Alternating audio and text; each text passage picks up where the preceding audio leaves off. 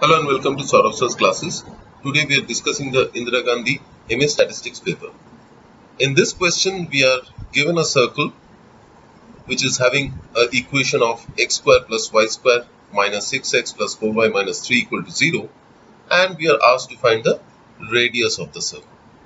So let us arrange this equation in the form that will give us this, uh, the uh, center and the radius. So we can write this as x square minus 6x plus 9 plus y square plus 4y plus 4 minus 16. Now why did I do this? Because from 6x I know that I can write this as 2 into 3x.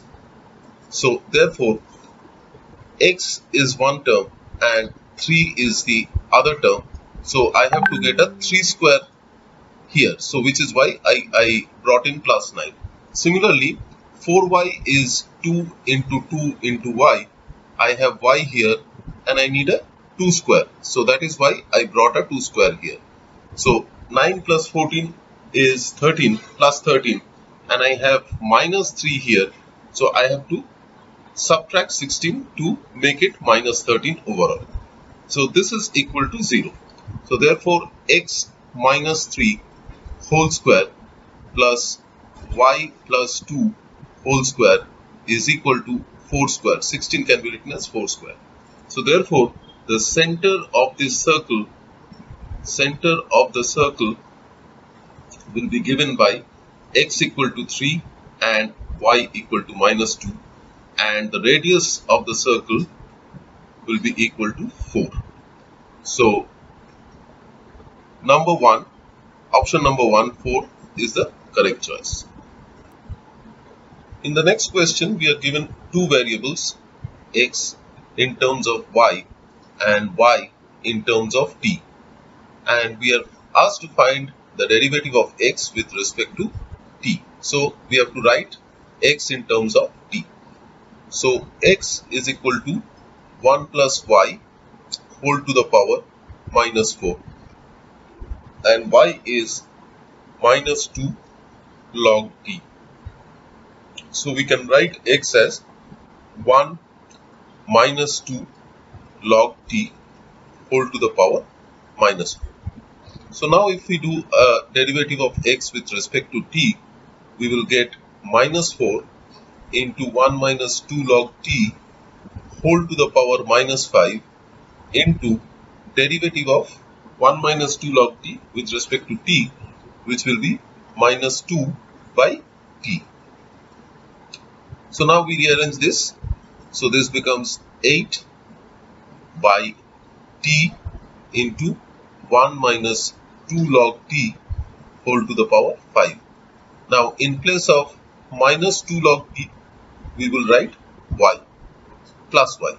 So this becomes 8 by t into 1 plus y whole to the power 5. So now we see the options. In option 3 we have 8 by t into 1 plus y to the power 5 which is the correct choice. In the next question we are asked to find the limit of this function as theta tends to 1. So we have to write this function as uh, limit theta tends to 1 c to the power 1 minus theta c to the power 1 minus theta minus 1 by 1 minus theta. So we can write 1 minus theta is equal to x so as theta tends to 1, x tends to 0. So we can write this as limit x tends to 0 c to the power x minus 1 by x. Now you see if we replace uh, x equal to 0 in this function, we will get 0 by 0. So therefore we have to use L'Hospital's rule here L'Hospital's rule which means we have to take the differential of the numerator and the denominator. So this is limit x tending to 0.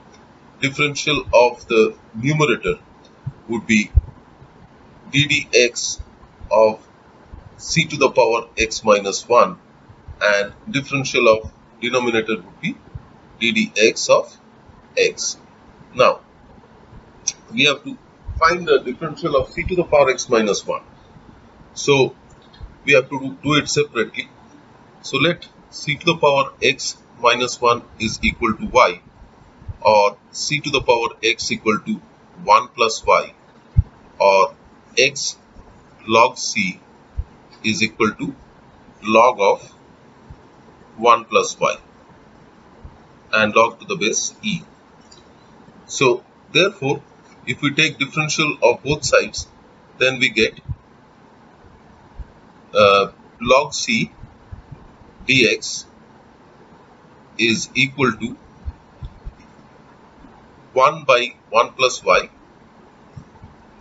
into dy. So therefore dy dx dy dx is equal to log c into 1 plus y. Or uh, we can write this as 1 plus y as cx. So this is equal to c to the power x into log c.